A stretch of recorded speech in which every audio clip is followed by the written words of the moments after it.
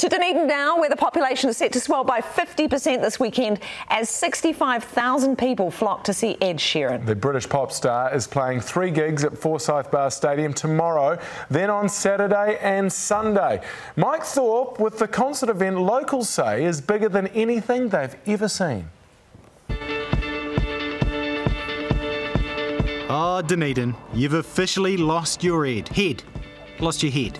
I've made an Ed Sheeran doll that hopefully I can give it to him. And he's lovely, so he's very cute. Paint the town Ed, they said. You did.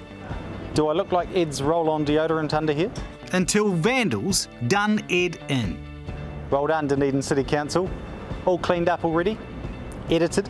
The Octagon, the Ed centre of town, is all but eight ways closed. I'd say it's going to be a party atmosphere for five days. Been moving a lot of kegs, and uh, yeah, I should be huge by the end of this weekend.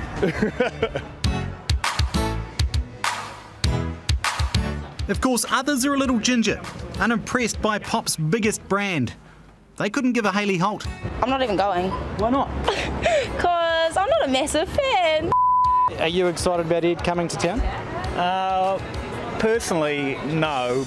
But the majority are Pump Ed, Psych Ed, and Excite Ed. We've got mum coming down from Auckland, everyone's here for the weekend. Is mum staying at your place? Mum, mum is in for, yeah, mum is into the flat with a few of our other flats mums. I'm very amped to use. I've been amped for a while. We bought the tickets in May, so it's been definitely a long time coming. And now 60,000 visitors are heading this way. But I'd like to see the, the town painted in Ed, so that's pretty cool. This Easter weekend, the Edinburgh of the South will be humming. Fun. Wow, it So looks much like fun. it is going to be humming. What a great city Dunedin is. Mike Thorpe has turned up in Dunedin a day early. An early bird catches the worm, that's what they say, Mike. What's the vibe like? Jeremy, you're quite right. The early bird does catch the worm. We uh, found the early birds, in fact, camped outside of Forsyth Bar more than 24 hours before the gates opened. In fact, we were lucky enough, I think, to probably find the biggest Ed Sheeran fan in all of Australasia. How many times have you seen Ed Sheeran? Uh, 15 so far. Whereabouts? Uh, the UK, Australia, New Zealand. So I went to all three in Auckland as well, so now all three here. You've got a problem. Probably. Have you met him yet? Um, I met him when he done like promo in Australia at the beginning of last year, but it was just like a quick photo and stuff, so it wasn't really proper meeting, but yeah. Ed, come on, man, do the right thing. Please.